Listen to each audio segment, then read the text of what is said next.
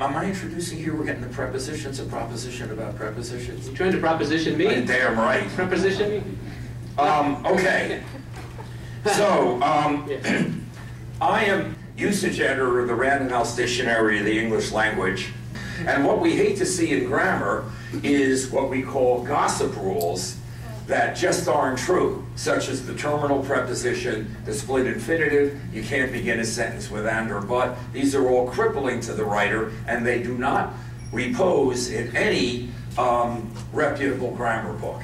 And the most famous is the preposition, and I'm just going to share with you, it's so ridiculous, the rule, that it has engendered the four most famous jokes in the grammar canon. I know some of you have heard, but probably new for many of you. The most famous is Sir Winston Churchill, one of the great stylists in our language, who had a sentence mangled when uh, an, an officious Whitehall editor untimely ripped, if you know your Shakespeare, Jens Macduff and all, um, the good Mensa, where some people know that, uh, the um, the preposition from the back to the front and ruined the sentence, and he thundered off uh, in, a, in a missive, this is the kind of errant nonsense up with which I shall not put. and speaking of propositions, have you heard about the convict who attempted to seduce his female guard so that she would help him escape, by the way, in real life?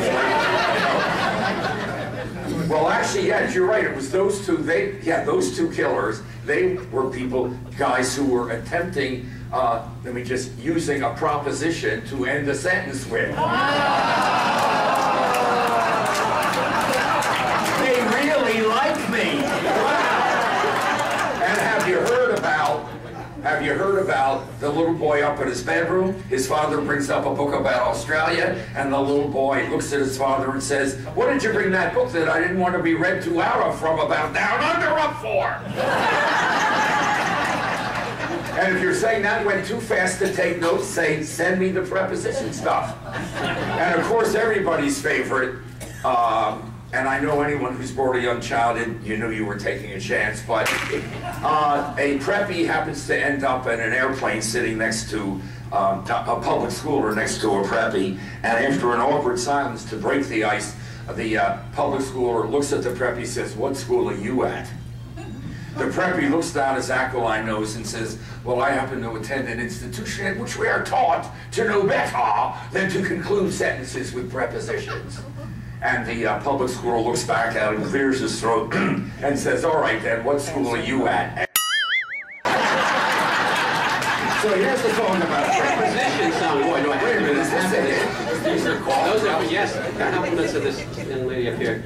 All right, the preposition song. Mm, I've been practicing real hard on this one. Be tough for me. There's a challenging one for me here. Did you learn it from your grammar? Yeah, my, my grammar, my grammar told me, my grammar too. With on for after at by and against instead of near between the over up according to around among beyond and to until within without upon from above across along toward before behind below beneath beside during under. There will be a test. They have to now do it themselves from memory. Or a retest.